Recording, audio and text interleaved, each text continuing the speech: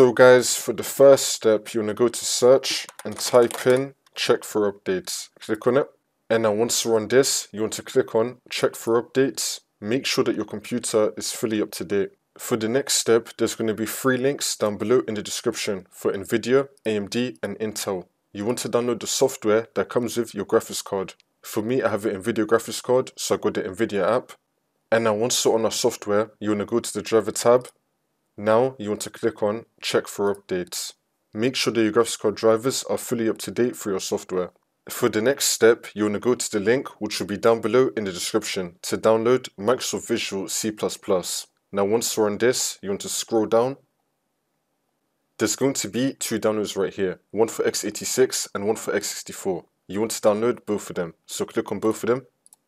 And then once that's been downloaded, you want to right click on one of them and then click on show in folder.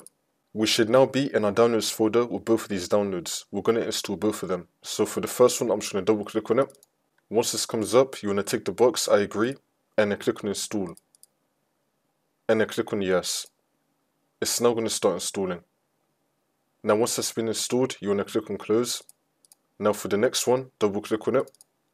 You want to tick the box, I agree, and then click on install. And then click on yes. It's now going to start installing.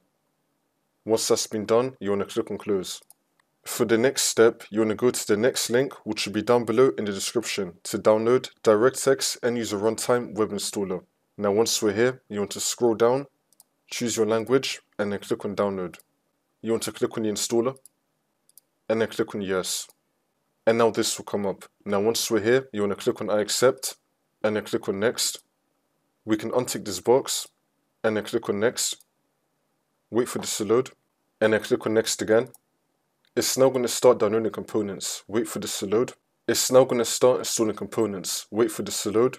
And then once that's been installed, you want to click on finish.